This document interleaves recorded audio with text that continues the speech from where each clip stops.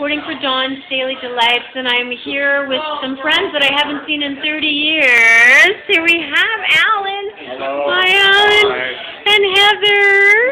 Hi. We're all together. We haven't seen each other in so long. This is Ralph and Mike, and I have to get their permission to put Michelle. Michelle. Michelle. It's okay. Hi. She organized this. She, or- she's here visiting from.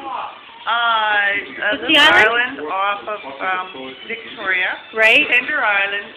It's country bumpkin island, really, but anyway. And here I am in the city of Toronto, and just like woo, Yeah. seeing all my friends and and, and extended family, really.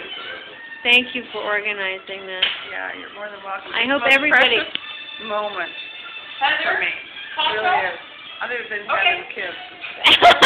and, and and this is Louie and Paula. Hello, Hi. Hi. Hi. Hi. And and we're all together for the first time.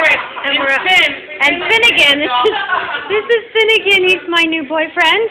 And and his sister Casey. Finnegan and Casey, aren't they gorgeous? And there's a kitty cat hiding somewhere. Anyway, we all had dinner together, and it's quite a delight. I gotta tell you, I hope everybody gets to put this on their bucket list before they die to reunite with friends after 30 years.